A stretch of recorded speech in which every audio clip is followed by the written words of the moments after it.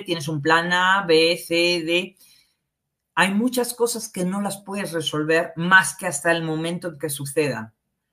Y es ahí donde no estarás generando montones de opciones en el campo infinito, muchas tóxicas, porque realmente toda esa planificación suele ser muy tóxica.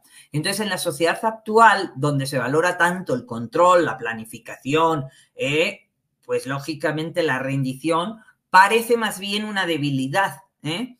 Sin embargo, es una de las decisiones más poderosas que puedes tomar, ya que te permite fluir con la vida en lugar de resistirte a ella. Es lo que se llama realmente el flujo de la vida. No pongo resistencia y esa, esa fluidez me permite navegar en todas las situaciones, ya sea que haya un árbol o, o ya sea que haya una roca en el camino.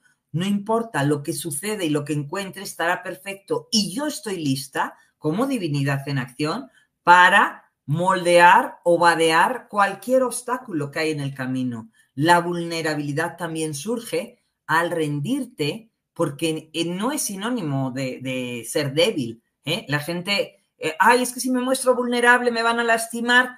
y si no te muestras vulnerable también.